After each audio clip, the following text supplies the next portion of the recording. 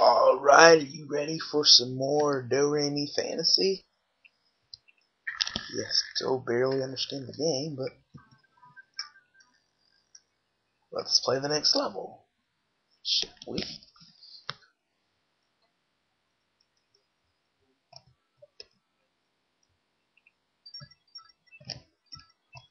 Okay, I'm starting to get a bit of slowdown. I'm gonna have to close off stuff.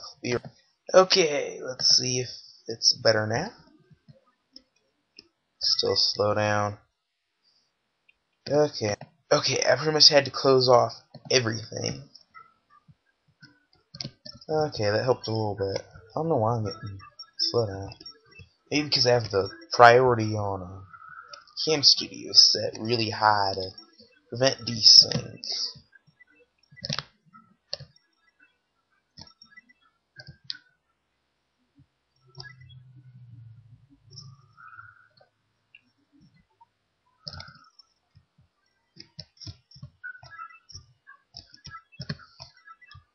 Yes, really sorry about being so quiet. It's just that there's not really much I have to say.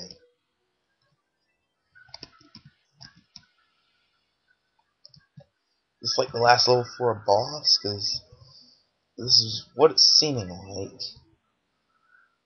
At least according to the overworld. That's what it looks like. Maybe not. More story we can't read.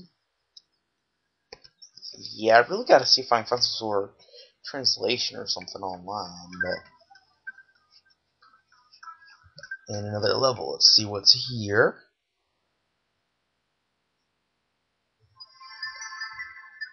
It's a ghost house! Okay, not really. Oh, well yeah, it may very well be called a ghost house in this game.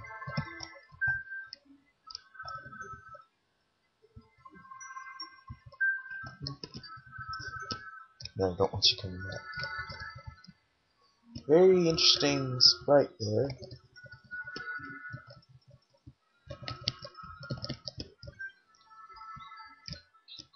Pinocchio?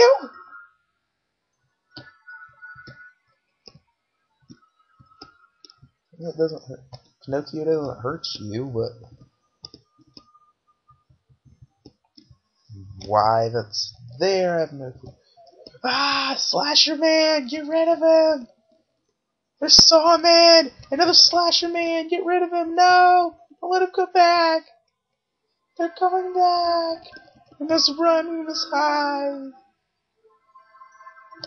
Can we break this? No.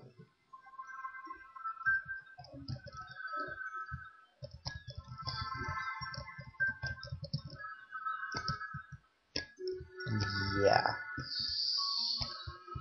Sorry that my commentary is really lacking, but thing is, I really only have two options for really talking here, and that would...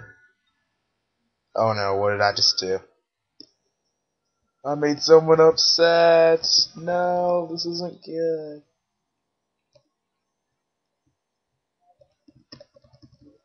Have mercy on my soul!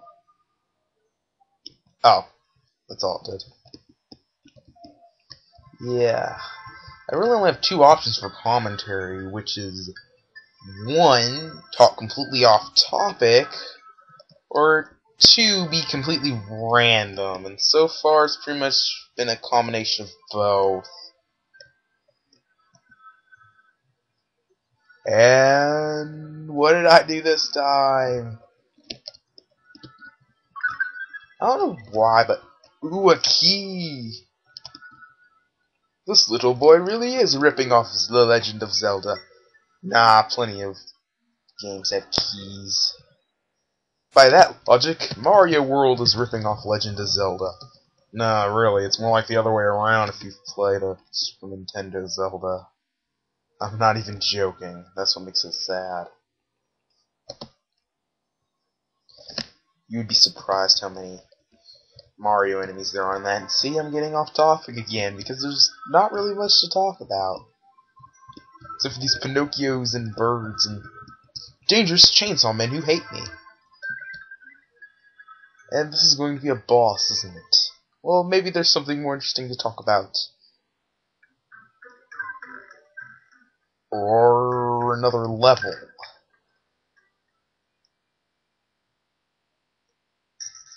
A boss. At least I think it is.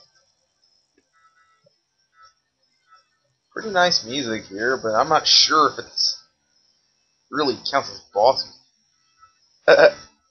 apparently this boss is easy. Apparently if you keep hitting it, it'll... Oh, I've seen bosses like this before. Ah, no, don't... Oh. That has got to be the second most easiest boss I have ever played in a video game. The only one that I have played so far that is easier than that is Iggy. But we all know how easy he is and overused.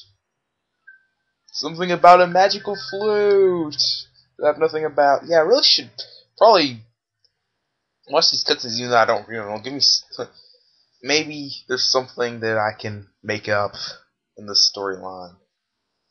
Hey, maybe this little boy is trying to write a song that would explain the instrument. One. Yeah, that's been really strange. Some of these words have been in English, but some of them in Japanese. It's like the mini game. Japanese people speak English or something? Well, anyway, let's go to the Land of Candy. This seems really safe, right? Nothing can hurt you in the Land of Candy. That must be the woman who runs the Land of Candy. I don't know. I don't know what's with the candy. Would you mind explaining it to me in English, please, since you like using English so much? And all the text that doesn't really help me. Like mini game and one. Oh, he must run Little Junk Food Land. Maybe he's the boss or something. I don't not I do not know. I cannot read a bit of this. Oh, hey, wait a minute. That reminds me of oh, what's the? I think his name was Bomberman or something like that. That's that reminds me of Bomberman. Oh, option one. I get this guy. What's option two? I get the white Bomberman guy. Hold on. I'm going to save here, and I'm going to see what the advantage of each one is. So I obviously cannot read this.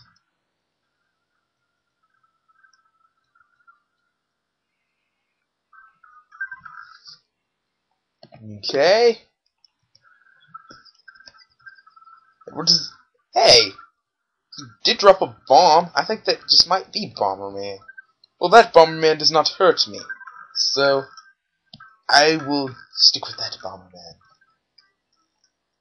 I think that really was. Because he dropped a bomb. I don't know. I don't know much about Bomberman. it's a Kirby candle! Jeez, this game will be filled with cameos? How much how much longer till we see some plumbers, huh? Yeah, till we see Mario. Then I I can probably comment on that a little better. Can you? Yeah, it's the land of candy. That definitely explain the Kirby candles. I doubt that's what they're called, but they remind me of Kirby, so I'm gonna call them Kirby candles. I have no clue what they're supposed to be, but they're pink and their face looks like Kirby, so they are Kirby candles. That thing also looks like it's from Kirby. And those forks hurt me.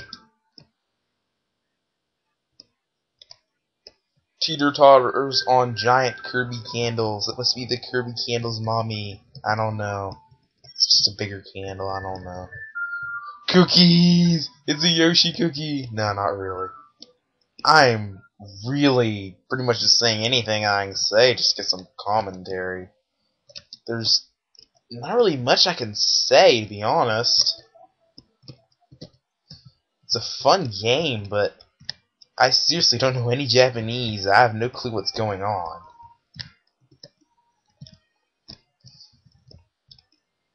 I don't even know if those two guys are even supposed to be Bomberman. I don't know. Especially considering I hardly play Bomberman. no! Stay away from me, Kirby Candle! No, he's coming closer. Nah, he's not hard to dodge at all, but you gotta have something more interesting to watch, right? I mean, not the game's boring. It's just you have to have some commentary on something. Ah! Pumpkin head tossing man, we do not want you around here. We do not like pumpkins. No, Halloween is not fun. We like Christmas. This is a Christmas family in this house. We play. We are all jolly and stuff on Christmas. We don't go trick or treating. We open presents. Okay, this is supposed to be, I guess, the Fork Desert. Yay! Forks, how delightful. This honestly would have been a good place to stop, drop off, but oh look! New gimmicks! Yeah, this probably would have been a good place to drop off, but what do I know? Okay. Ooh, secret path. That gives me nothing but that. Apparently you can slide down certain slopes. So you can slide down this milk slope. Sorry, I'm so used to hitting blocks from below because of Mario, obviously.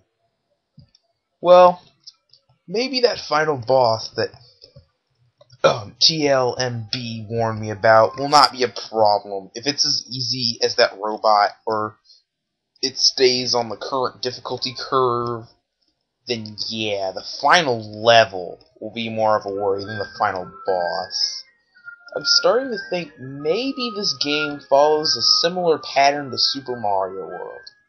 You have relatively easy levels that are also quite easy to screw up if you're a moron like me. Then you have quite challenging castle levels. And then the easiest bosses ever. Cause I mean, about every last boss in Super Mario World is practically a joke.